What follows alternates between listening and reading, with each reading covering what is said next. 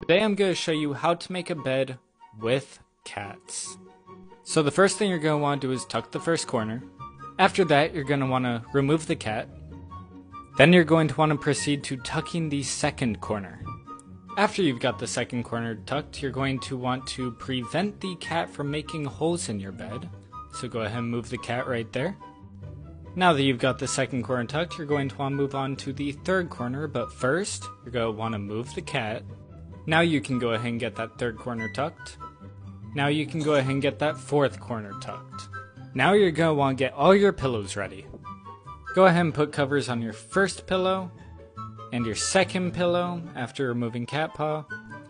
And then you can go ahead and proceed to the third pillow. After the third pillow, go to the fourth but remove the cat, and now you can place them all in your bed. After you scare away the cat with the comforter, go ahead and lay it down.